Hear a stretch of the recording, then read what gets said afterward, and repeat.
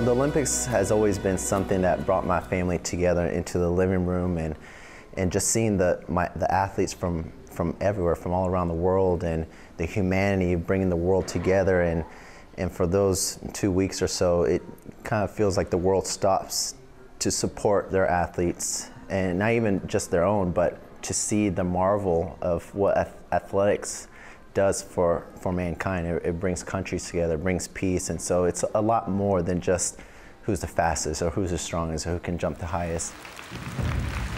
And the balloons rise to heaven. For me, that special moment was in 1988.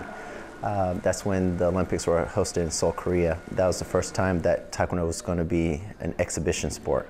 And I remember, I remember being at the opening ceremonies and there were being like 100 guys all dressed in Taekwondo uniforms and, and, and the announcer saying, this is the first time Taekwondo is going to be, you know, an Olympic sport. I remember looking over at my brother and going, Jean, you know, Taekwondo is an Olympic sport now. And, and for me, that was, that was where my dream, uh, I knew what my dream was. That's where it all started. That's where it ignited that fire in me. And, and I knew at that point what I wanted to do when I grew up. And that was to, to be an Olympian and to be an Olympic champion.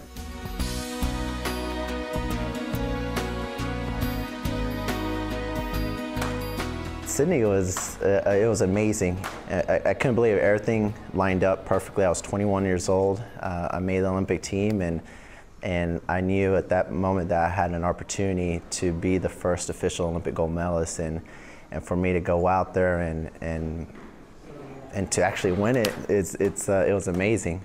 My parents coming to the United States for a better opportunity, for the American dream, and and for my dad and my mom to, to see all the sacrifices that they had made for us and, and to actually realize a dream that we had as a family to be able to accomplish it. The hard work and everything that I've had to do, not only as an individual but as a family, to, to get to that point that makes it so, so uh, worthwhile. And, and that's why I, I, keep wanting to go and go and, and attain that excellence.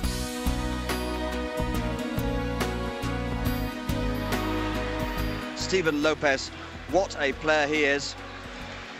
Going to four years later into Athens in 2004 and in, in different weight class, I was like, okay, to myself, you know, I think what I do is always try and find a different motivator, something to to re-energize me for, for this next competition. And for that one was like, okay, Stevens, people might say you might have been lucky, you know, that first one, first time around at the Olympics. And so this time it's a different weight class and you're going for your second Olympic gold medal. Um, and, and to win it, and not only to win it, but what gave me great gratification is the way I did it. I fought three world champions leading up to that gold medal match and to be able to fight the very best at the Olympic Games and to be successful and to win it was, I think that was, uh, I really felt like, man, I'm the man. After winning that second Olympic gold medal and, and being, you know, three world champs that day, I was like, I'm feeling good.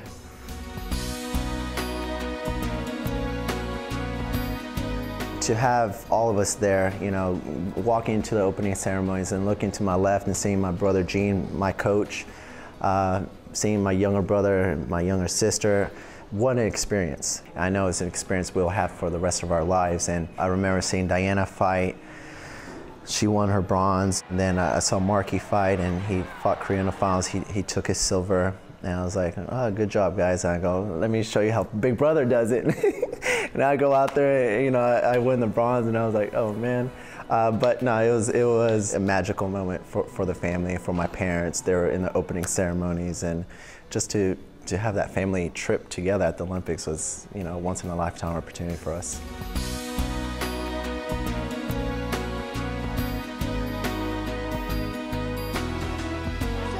London was my fourth Olympics. I was like, okay, well, let me let me win back that gold medal uh, from the 2008.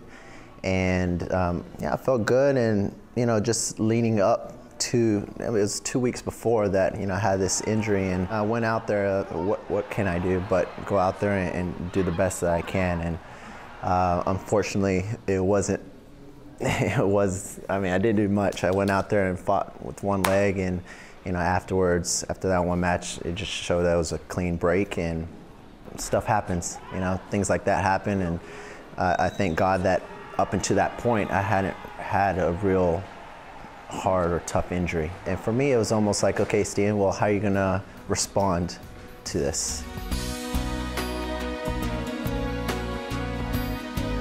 If I did not believe that I could be an Olympic champion, then I would stop.